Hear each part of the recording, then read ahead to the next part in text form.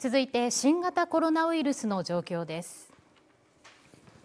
県は今日新たに2102人の陽性が確認されたと発表しました。現在240人が入院していて病床使用率は41.1%、1人が重症です。また昨日と今日県内の医療機関に入院していた基礎疾患のある90歳以上の2人が亡くなったということです。